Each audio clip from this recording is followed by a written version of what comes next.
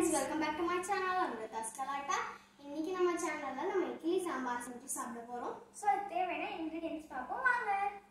துவரம்பருப்பு சிறுபருப்பு குட்டி குட்டியாக பிரிஞ்சால கட் பண்ணி வச்சுருக்கோம். கடுகு சீரகம். வெங்காயம் தக்காளி கருவேப்பிலை கொத்தமல்லி பச்சை மிளகா ம- மஞ்சள்தூள், உப்பு. இப்போ கடாய் காஞ்சிடுச்சு. தேவையான அளவு எண்ணெய் ஊற்றிக்கலாம் எண்ணெய் காஞ்சிருச்சு நம்ம கடுகு சீரகம் போட்டுக்கலாம். கடுகு நல்லா பொரிஞ்சிடுச்சு. வெங்காயம் போட்டுக்கலாம். தக்காளி பச்சை மிளகா போட்டுக்கலாம். பிரிஞ்சால் போட்டு வதக்கிக்கலாம். கருவேப்பிலை கொத்தமல்லி போட்டுக்கலாம். பருப்பு இதை போட்டுக்கலாம். தூள் உப்பு போட்டுக்கலாம். இப்போ தேவையான அளவு தண்ணி ஊற்றி இருபது நிமிஷம் மூடி வச்சிடலாம்.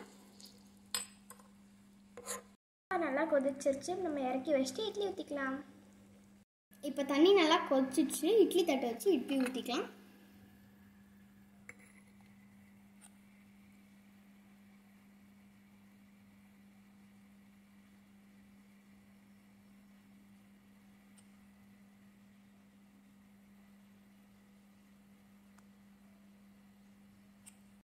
இப்போ நம்ம மூடி போட்டு நம்ம பத்து நிமிஷம் வேக வச்சிடலாம். இப்போ பத்து நிமிஷம் ஆயிடுச்சு நம்ம திறந்து பார்க்கலாம். இட்லி சூப்பராக வெந்துடுச்சு இப்போ இட்லி சாம்பாரும் சூப்பராக ரெடி ஆயிடுச்சு. வாங்க இப்போ நம்ம சர்வ் பண்ணிடலாம். சாம்பார் சர்வ் பண்ணிக்கலாம். இப்போ நாங்கள் பார்த்துட்டு எப்படி இருக்குன்னு சொல்கிறோம்